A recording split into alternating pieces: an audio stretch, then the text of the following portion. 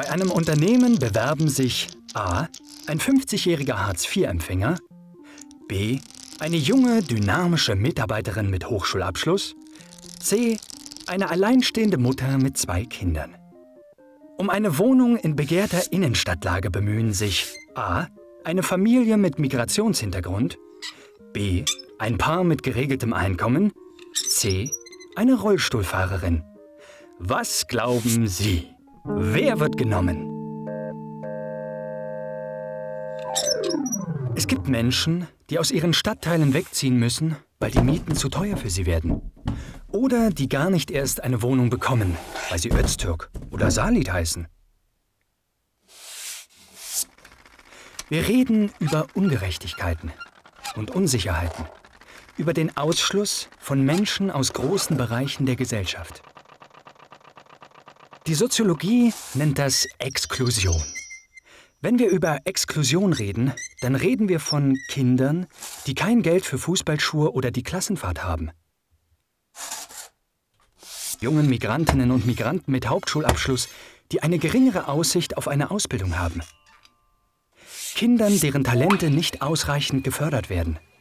Rollstuhlfahrerinnen und Rollstuhlfahrern, die ständig auf schmale Türen, Treppen oder Kopfsteinpflaster stoßen. Frauen, denen trotz besserer Qualifikation der Chefinnenstuhl verwehrt bleibt. Minijobbern und Hartz-IV-Aufstockern, die nicht von ihrem Lohn leben können.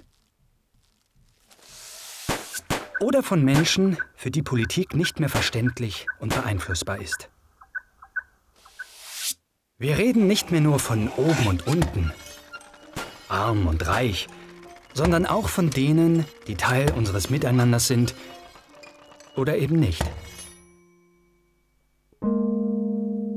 Wir reden von denen, die keinen Zugang zu sozialer und politischer Teilhabe haben. Wer ist drinnen? Wer bleibt eigentlich draußen? Wie können wir dafür sorgen, dass jede und jeder seine Chance erhält, unabhängig von dem, was jemand hat und woher jemand kommt? Inklusion steht für die Idee, dass niemand in unserer Gesellschaft ausgegrenzt wird.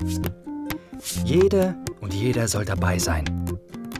Wir wollen eine gerechtere Gesellschaft und ein soziales Miteinander. Inklusion steht für gleiche Chancen. Das ist unser Ziel. Hochinklusiv. Zusammenhalt einer vielfältigen Gesellschaft.